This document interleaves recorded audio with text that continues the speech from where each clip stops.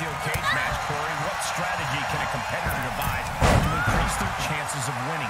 Well, if a superstar is not known for their agility, they might be best served looking to escape through the cage door because it doesn't take a lot to get off the ropes. Good point.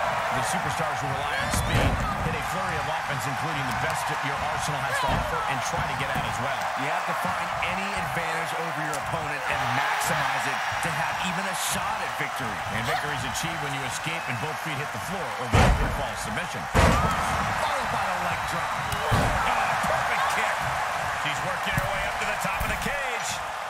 Looking for a grip to get themselves over the cage. Trying desperately to escape.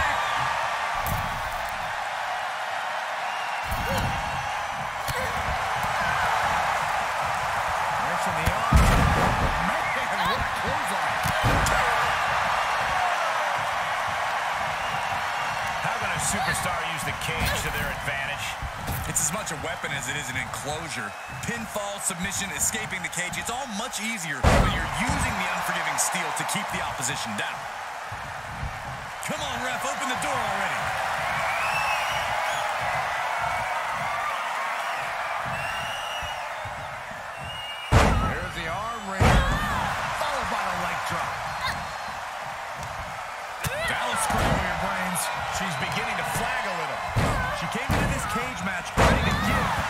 She gets.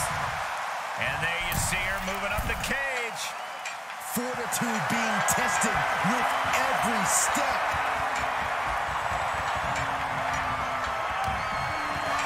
She's off to the races up the cage.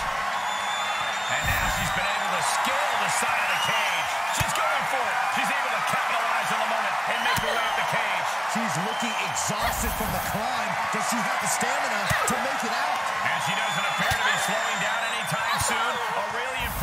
showing in this steel cage match. Has to find a foothold now to take that first step down. Gotta wonder if the stamina is there to make it all the way. And every inch climb puts you in a more perilous position.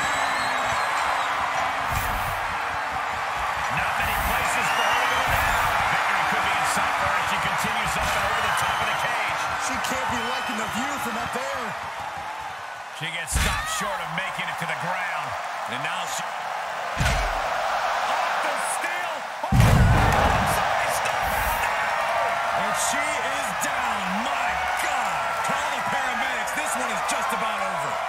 has to come down somehow. Hopefully it's in one piece. Think about how good it feels.